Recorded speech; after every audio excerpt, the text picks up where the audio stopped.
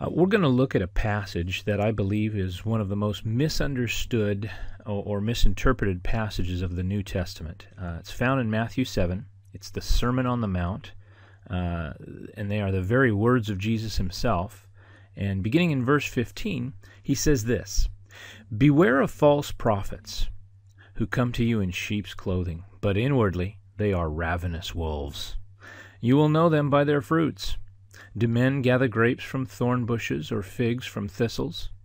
Even so, every good tree bears good fruit, but a bad tree bears bad fruit. A good tree cannot bear bad fruit, nor can a bad tree bear good fruit. Every tree that does not bear good fruit is cut down and thrown into the fire. Therefore, by their fruits you will know them. Now, why do I say this is one of the most misunderstood passages or misinterpreted passages of the New Testament?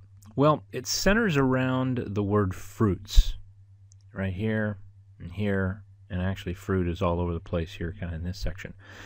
And and a lot of people look at that word fruits and they immediately think, well, that's the actions of a man. And you'll hear this from preachers. Actually, they'll say, uh, you, you, you know, you'll hear a sermon, and they'll get up there and they'll say, "Well, I'm a fruit inspector, and when I see somebody committing adultery and uh, doing all kinds of bad stuff, lying and cheating and stealing and murders and thefts and envy and you know, they'll they'll have their entire grocery list of uh, of bad things that people do, the actions, and they'll attribute all those actions to a person's fruits." And they'll go on and they'll say, when I when I inspect that fruit, I I see a, a bad man. I don't see a godly man. I see a bad man. I believe that that interpretation, that that idea that fruits are the actions of a man, is wrong. I, I don't think that's that's correct, and that's where the the heart of the the misunderstanding and misinterpretation comes from. And uh, today I want to I want to kind of look at other scriptures, compare scripture with scripture to get an idea of what fruits pro- probably in most in my mind most definitely mean something else. But before we move away from this passage and look at another passage, I want you to look at what what what one thing fruits can't mean. And it is the actions of a man. It can't mean that. Just just reading just this passage alone. And then look here again at the, the very first you know line up here. It says, Beware of false prophets, who come to you in sheep's clothing, but inwardly they are ravenous wolves. Think about this for a second. We've got people, false prophets, coming into the church, okay, or into the group, the body of believers, and they come in disguise. They come in sheep's clothing. They come in acting like Christians. Okay, they act like good people. They don't act like false prophets. Okay, they don't come in doing that. That that wouldn't be good. They come in acting like uh, good, godly people, but they're not. Right? Inwardly, they are ravenous wolves. So if we take uh, uh, this disguise, sheep's clothing, and, and we, we identify that as actions of a man, and we also identify the fruits of a person as actions of a man. This is how it would read. It, follow me here. It goes, Beware of false prophets who come to you acting all godly, but inwardly they don't.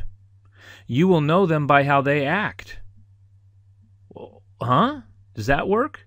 You know? No, that doesn't work. It doesn't work at all, you know. Beware of false prophets who act godly. You'll know them by how they act.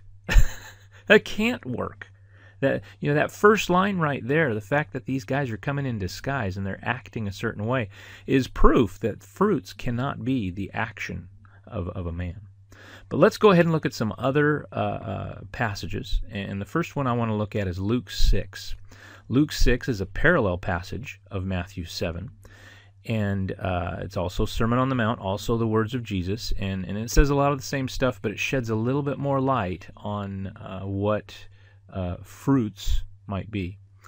Uh, it says in verse 43 of Luke 6 For a good tree does not bear bad fruit, nor does a bad tree bear good fruit, for every tree is known by its own fruit. For men do not gather figs from thorns, nor do they gather grapes from a bramble bush. A good man out of the good treasure of his heart brings forth good, and an evil man out of the evil treasure of his heart brings forth evil. For out of the abundance of the heart his mouth speaks. All right, look at this last line. This is the important. This is this is what makes it all make sense here, or start to. For out of the abundance of the heart, his mouth speaks. Okay, so we're talking about, you know, it starts off talking about the same kind of stuff as Matthew 7. You know, we got, you know, good trees can't bear bad fruit, bad trees can't bear good fruit. Okay, and then Jesus says, a good man, he talks about a good man and an evil man, about uh, their, their good treasure or their evil treasure uh, in, in, their heart. Okay, so they've got something in their heart, all right? And, and it says that last line, for out of the abundance of the heart, his mouth speaks. Whose mouth? Well, an evil man or a good man. Is his mouth speaks out of the abundance of his heart. So whatever's in the heart of a man, that's what he speaks. So we're not just talking about, you know, uh, uh, the weather here when when when the mouth speaks. That's not the kind of speaking that Jesus has in mind here. It's not, um, you know, sports talk or just you know idle babble, right? It is the abundance of the heart. His mouth speaks. This this treasure of his heart that Jesus, Jesus speaks of here for both the evil man and the good man is really, I take to mean kind of the life philosophy of a man or the, the guiding principles that, that a man has. And, and, a, and a good man has good treasure. He has good guiding principles. He has a good life philosophy. And when he speaks, in the sincerity of his heart, when, when, when his mouth opens up and he starts sharing this good treasure, he can't help but speak good things. He can't, he can't help but be consistent with that life philosophy that he has. And an evil man is the same way. He can't help but be consistent with the life philosophy that he has when he begins to speak. Um, so, for example, you know, if you were to ask uh, uh, some kind of a, a, worldly guy who who lives by the philosophy, he who dies with the most toys wins right? Some guy that, that believes that he's got the bumper sticker and, and the whole nine yards. And you ask him to, uh, you know, maybe speak a message on, uh, uh, you know, giving to the poor. Uh, you know, you maybe ask him to talk about the widow who gave two mites, right? All that she had. Well, he's not going to speak about that and, and say that that's a great and good thing, at least not sincerely, okay? Because he doesn't believe that. He can't do that. He can't, a good tree, or pardon me, a bad tree can't bear good fruit. No, if you ask him how to live life, he's going to tell you, well, the ones with the, the, the most toys wins, so get toys. You know, materialism is the way. Uh, the same the same is true of a good man. You know, if you if you talk to a good man who is you know giving to the poor, using the same kind of an example, he isn't going to tell you to go out and accumulate things. That's not his philosophy. That's not his life uh, ambition. Uh, that, that's not what he's about. That's not the treasure that's in his heart. So this this treasure that's in the heart that the uh, that that that is abundant. Okay, whatever is abundant in the heart is what the the mouth of a man will speak. That's the philosophy that comes out. So I'm saying that the fruit. Okay, being this is a parallel passage, the fruit is what the mouth speaks. It's that life philosophy, those principles uh, of life that come out of a man. All right. So let's look at another passage, though. You know, maybe you're not convinced. Uh, so let's look at Matthew chapter 12 to make this clear. Again, Matthew chapter 12 are the words of Jesus. And uh, the part we're going to look at actually comes after a discussion. The Pharisees had come and they had accused him of casting out demons by the power of Beelzebub. And, you know, they had a, a hot exchange. Uh, Jesus accused them of uh, blasphemy of the Holy Spirit. And, um, and at the tail end of, of his speech towards them, he, he says this in Matthew 33, or 12, uh, actually 12, verse 33. He said, Either make the tree good and its fruit good, or else make the tree bad and its fruit bad. For a tree is known by its fruit. All right, so, so stop right there. We're talking about the same thing, right? This is kind of the same subject matter, the fruit, okay? And he goes on, brood of vipers, talking to those Pharisees. How can you, being evil, speak good things?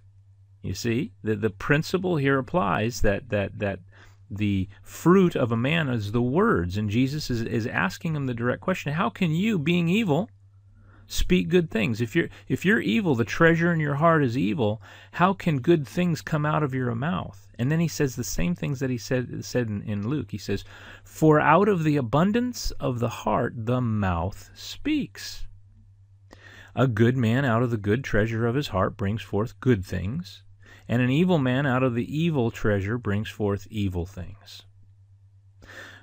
But I say to you that for every idle word men may speak, they will give an account of it in the day of judgment. For by your words you will be justified, and by your words you will be condemned. You see, the whole subject here is words. The whole subject here is what comes out of your mouth. The whole thing is all about the good treasure and the evil treasure of the heart. So let's go back uh, and, and, look at Matthew 7 again. Um, let's, let's just let's re- read it one more time. It says, "Beware of false prophets who come to you in sheep's clothing, but inwardly they are ravenous wolves." So here's the problem. All right, beware of false prophets. We're talking about identifying false prophets. You will know them by their fruits. You will know them by their life message. You will know them by the, the philosophy they're, they're, they're trying to sell. That's how you'll know them. Do men gather grapes from thorn bushes or figs from thistles? You know, the answer is no, of course not. Even so, every good tree bears good fruit, but a bad tree bears bad fruit. And then this is this next statement's a startling statement because it's not too often Jesus or anywhere in the New Testament says that somebody can't do something. But he says here, a good tree cannot bear bad fruit, nor can a bad tree bear good fruit. Cannot. A good tree cannot bear good or bad fruit. You can't do it, uh, according to Jesus. And so, if you've got a good life philosophy going on, if you if you've got the right message, okay, and you've got uh, uh, um, the right philosophy of life, the right life principles, okay, you're a good tree. And you cannot bear bad fruit. You can't speak a, a bad philosophy, at least not genuinely or sincerely. You can't do it because it's not in you. That's not what's in your heart. And so, you know, to finish this off, he says, Every tree that does not bear bad fruit, or pardon me, every tree that does not bear good fruit is cut down and thrown into the fire. Therefore, by their fruits you will know them. So he repeats that. Therefore, by their fruits you will know them. Uh, one last thought here is, is right back up here at the beginning, another little clue that uh, words are, are in view here. And that is beware of false prophets.